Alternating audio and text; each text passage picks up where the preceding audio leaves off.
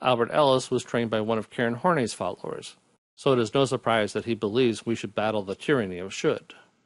According to Ellis, we make ourselves miserable by doing what others think we should do. If we worried less about what others thought, we'd be happier. For Ellis, thinking and happiness go together. How we think impacts how we feel. According to this view, thinking causes emotional consequences. Emotions don't stand by themselves, they're the result of your thinking, the product of your belief system. In Ellis terms, it is as easy as ABC. A is for activating event, B is believe, and C is consequence. Something happens, a sound in an adjacent room perhaps. You think about that stimulus. And what you think determines your emotional consequence. If you believe there's a burglar in the other room, you feel fear. If you believe there's a party you're not invited to, you feel envy. If you believe your sound was caused by your visiting Aunt Betty, you're happy that you can now have that chat you've been wanting. Ellis originally called his approach rational psychotherapy. The emphasis was on rational thought. Think of it as, as having Socrates or Aristotle in your head. Thoughts should progress reasonably, rationally. They should be consistent and well managed.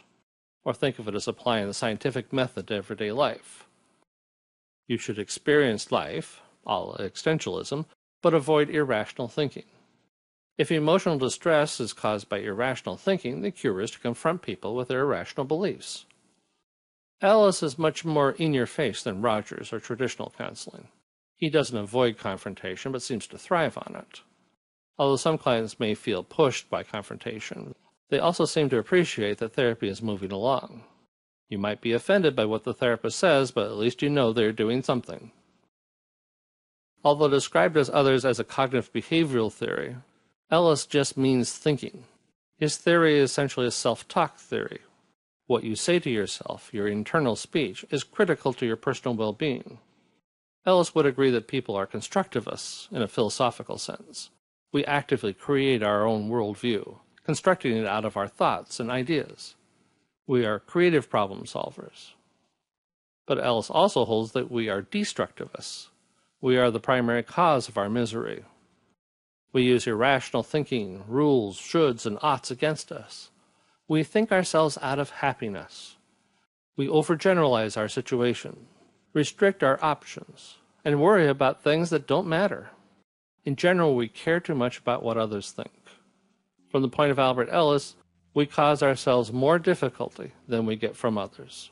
If we are anxious, fearful, and worried about life, it's because of how we think, what we tell ourselves.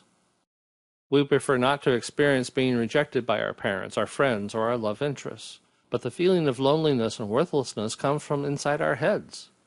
As children, we might have been constantly criticized, sexually abused, neglected, or forced to grow up in an alcoholic family, but Ellis maintains that the reason we suffer in adulthood, long after the initial trauma has gone, is because we tell ourselves that we are failures, worthless, unlovable, and helpless.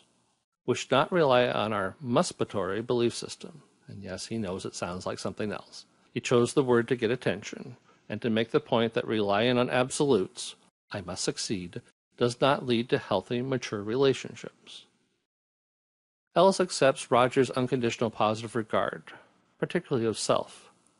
Unconditional other acceptance is good, but unconditional self acceptance is better. Ellis would say, Don't be so mean to yourself. Accept yourself, even when you fail. Say that you failed, not that you're a failure. Say that you do stupid things, not that you're stupid.